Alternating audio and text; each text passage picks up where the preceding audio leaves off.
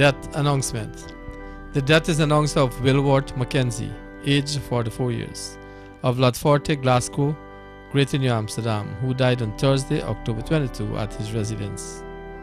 He was the son of the late Sheila and Claude Mackenzie, brother of Keith known as Morgan, Claude Jr. known as Redhead, Camille, Nikasi known as Nikki, and others, uncle of Jermaine, Shaniza, Jason, Quason, Ayanka, Shequinta, Jamal, Anastasia, and others.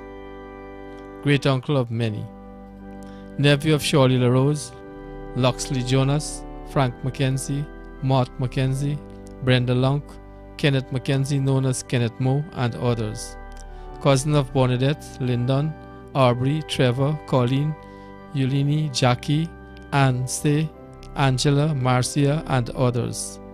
Relative of the Mackenzies, Jonases, LaRoses, Cadogans, Williams, Pearsons, and others.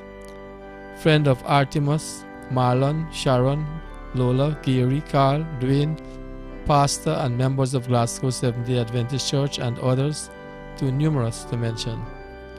The body of the late Wilwert Mackenzie will leave Arokium Funeral Parlor on Wednesday, October 28th for his residence, Forte Glasgow, Greater New Amsterdam for viewing from 10 hours to 12 hours. Thence to the Glasgow Seventh day Adventist Church for further viewing and celebration of his life. Interment will take place at the Stanleytown Cemetery. COVID 19 restrictions are in effect. DTV extends sympathy to the relatives and friends of the deceased.